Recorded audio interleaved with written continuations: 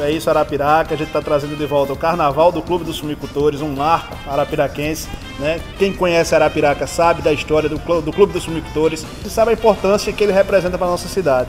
E isso, a nossa intenção agora foi resgatar o Carnaval, trazer de volta o Carnaval para o povo arapiraquense. A partir do dia 3 de março, a gente vai ter aqui a banda Eterna Magia. No dia 4 de março, nós vamos ter Jorginho e banda.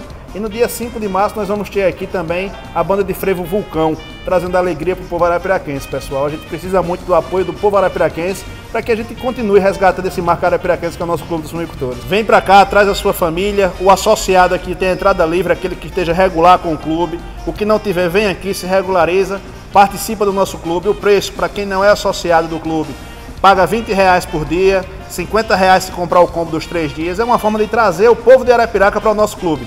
Vem junto, vem pro Fumicultores.